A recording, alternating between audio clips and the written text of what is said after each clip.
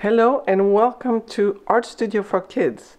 My name is Mrs. Otte and this week's lesson are all about the holidays.